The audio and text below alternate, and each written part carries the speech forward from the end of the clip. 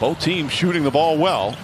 60% for the Clippers, 50% now for the Mavericks. Oh, a hard foul by Morris. And Doncic up. He wants to go back at him. As we just mentioned, these two have had a bit of a history. Of course, it was in that last game where Morris walked behind Doncic. He said it was unintentional, but stepped on his sneaker, knocking it off. Doncic with that left ankle injury.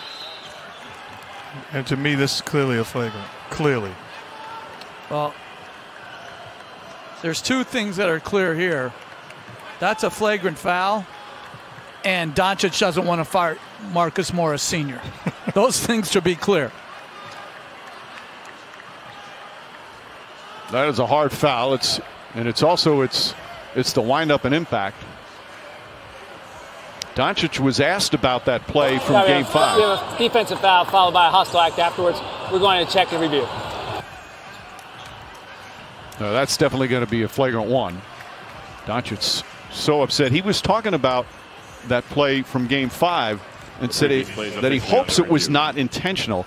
And they asked him, would you want to talk to him about it if he wanted to say something? And Doncic said, I don't want to talk to him. He's been saying a lot of bad stuff to me in all the games. Play. The ruling on floor is as such. So it is a flagrant two foul. So 31, Morris is done. Smart Flagrant Sr. two is automatic ejection. And what I learned a couple days ago, Mike, is penalty two it has Morris to be for a flagrant two. ejected from the game. All three officials have to agree, and the replay guy.